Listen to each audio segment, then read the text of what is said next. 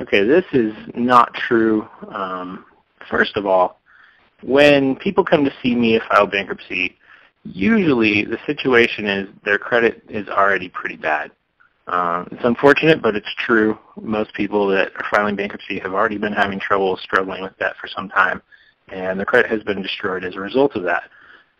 So the piece of truth that is in this myth is that when you file bankruptcy, it will stay on your credit report for 10 years, and it will negatively affect the credit report.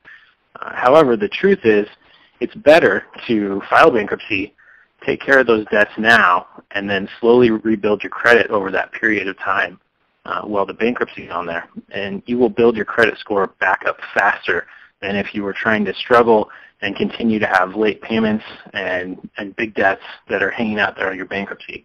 Um, it's not uncommon for somebody's bankruptcy score to go up shortly after they file bankruptcy. Um, it still won't be particularly high, but it is something that can be improved over time if you, after you file bankruptcy, you manage your debt in a responsible way and you build your credit score up.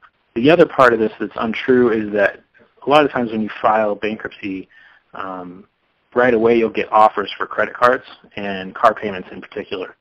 Uh, the reason for this is that the car payment or the car, credit card companies and the car companies they know that you can't file bankruptcy again for a period of time, and so you're less of a risk to file bankruptcy. Um, so they're willing to extend some credit for you.